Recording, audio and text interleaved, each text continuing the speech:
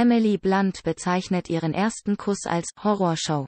Die britische Darstellerin hat keine schönen Erinnerungen an ihre erste Knutscherei mit einem Jungen.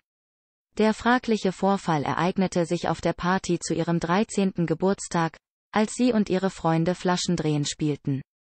Ich drehte die Flasche und sie zeigte auf Ashley und ich dachte, oh mein Gott, das ist es, verrät die Schauspielerin. Ashley sei ein attraktiver Junge und der Schwarm unter den Mädchen gewesen, doch obwohl sich Emily angezogen zu ihm fühlte, wurde sie von ihrer ersten Kusserfahrung bitter enttäuscht.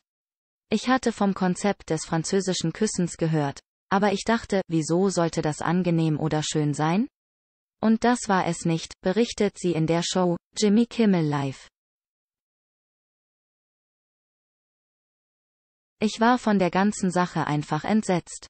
Ich erinnere mich daran, wie ich mir danach heimlich über den Mund wischte.